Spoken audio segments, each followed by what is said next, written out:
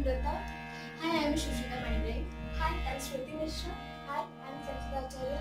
And today we are going to present a ghazal sung by Asha Bhosleji. And the harmonium is played by Dr. Ratan Pujari sir and uh, tabla by uh, Harishankar Beria sir. Uh,